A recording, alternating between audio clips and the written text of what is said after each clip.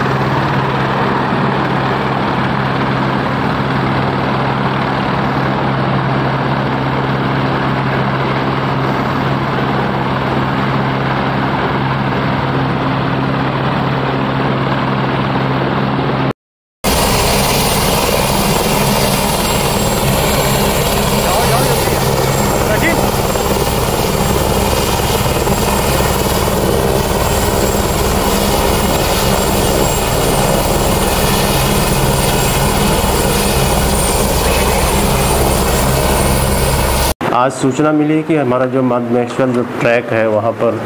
गोंडार के समीप जो हमारा पैदल पुलिया था लकड़ी का, वो बह गया है, जिससे हमारे उस क्षेत्र में जितने भी यात्री थे अथवा जो लोकल थे, वहाँ पर लगभग डेढ़ सौ की संख्या में फंसे हुए हैं। इस सूचना प्राप्त होने पर हमारी पूरे प्रशासन की team S D R F D D R F वहाँ पर मौके पे चली गई है, प्रशासन की टीम भी चली गई है, और जितने भी यात्री वहाँ पर फंसे हैं उनको निकालने के लिए हेलीकॉप्टर की व्यवस्था कर दी गई है। जिलाधिकारी महोदय की निगरानी में वहाँ पर रेस्क्यू का काम स्टार्ट कर दिया गया है और वहाँ पर अल्टरनेटिव जो राशि है, वहाँ पर एक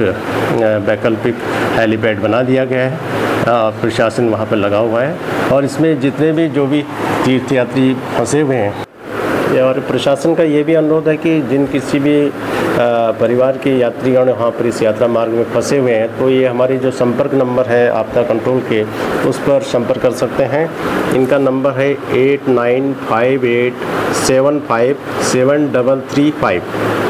और एक लैंडलाइन है zero one three six four two double three seven two seven इन दो नंबर पर आप संपर्क करके उनके कुशल क्षेम के बारे में और जो भी जानकारी है, आप प्रशासन से इन नंबर पर संपर्क करके जानकारी प्राप्त कर सकते हैं। धन्यवाद।